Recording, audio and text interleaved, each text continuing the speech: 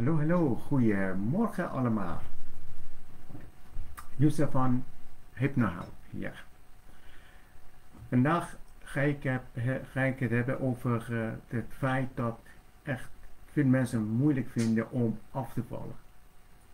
En dat is ook begrijpelijk.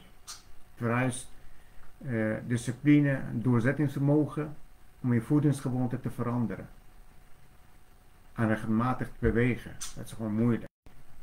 Maar waarom is het nou zo moeilijk om gewicht te verliezen? Laten we kijken naar een aantal van de redenen waarom het moeilijk is om gewicht te verliezen. Ons lichaam is biologisch. Het is ingesteld op overleving. Als we minder eten dan we nodig hebben, en ons lichaam gaat in de overlevingsmode en houdt de energie vast. Dat is de reden waarom het moeilijk is om gewicht te verliezen. Het tweede is dat onze gewoonten. Onze gewoonten spelen een belangrijke rol bij het afvallen. We zijn gewend aan bepaalde voedingsgewoonten en voedingspatronen. Een bewegingroutine is ook en gewoonte. En het is moeilijk om vanaf te stappen. Om af te stappen om iets anders te gaan doen. Het is de gewoonte. En de derde reden is gewoon emotionele eetgewoontes. Veel mensen gebruiken eten om emoties te verwerken. Als we gestrest zijn, verdrietig of boos zijn, hebben we een neiging naar onze favoriete comfort te grijpen. Het kan ertoe leiden dat wij onbewust meer eten dan we zouden moeten.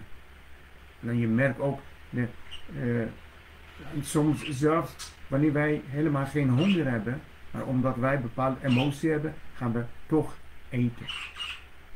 Dus afvallen is zeker moeilijk, maar het is niet onmogelijk door deze uitdagingen die ik uitgelegd heb, kunnen begrijpen en aanpakken, een andere manier toepassen of aanpassen in jouw dagelijks leven, is het mogelijk om je doel te bereiken. Je moet positief blijven en volhardend zijn. En je zal merken dat jij succes gaat boeken. Maar er zijn ook andere zaken die jij moet gewoon ook gaan opletten wanneer jij eh, gaat afvallen. En dat is die verborgen emoties die wij in ons hebben. Iets dat we helemaal niks van weten. Maar het bestaat. En als die verborgen emoties niet behandeld worden, dan alles wat je doet, wordt moeilijk om af te vallen. Je merkt dat er verschillende technieken zijn.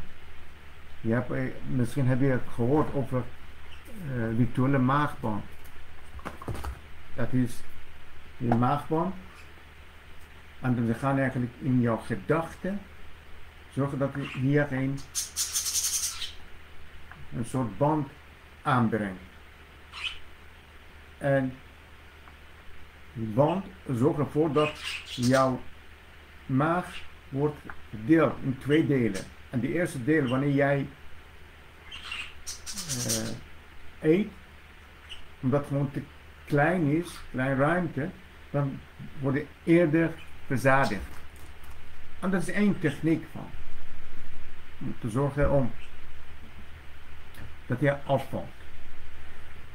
Maar alle technieken die er zijn, die zorgen dat jij afvalt maar ze zijn niet compleet. Waarom?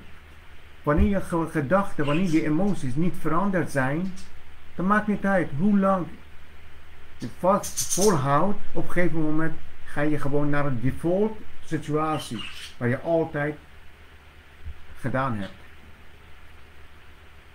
En zelfs als jij operationeel maagbanen hebt aangebracht op een gegeven moment, als die emoties niet afgewerkt zijn, dan ga je weer terug naar de oude gewoontes. Wat doen we in hypnose om jou te helpen om volledig af te vallen? De eerste is dat weghalen van alle gedachten die je hebt over afvallen. Over jezelf eigenlijk. Omdat als jij zelf in je gedachten die persoon bent, dan je onderbewuste gaat gewoon echt tijdens het slapen werken om jouw ideale realiteit waarheid te maken. En dat betekent, je wordt gewoon echt iedere dag op dikker. Totdat jij gewoon dik blijft. er zijn ook, ik heb ook uh, cliënten gehad die na operatie, jaar of twee, drie later, hetzelfde gewicht hebben bereikt. Dat, dat ze hadden. Dus dat gaat niet helpen in de lange termijn. Wat gaat helpen in de lange termijn? Dat je gedachten verandert. Van gedachten van die persoon naar gedachten van die persoon. Dat kan je bereiken. Ik hoop dat je deze video leuk hebt gevonden. Als het zo is, dan thumbs up en abonneer. En ik zou jou beloven dat iedere keer dat, jij, dat ik een video maak met goede content, dan je bent de eerste die mijn video ziet. Alvast bedankt voor de aandacht en tot volgende keer. Doei!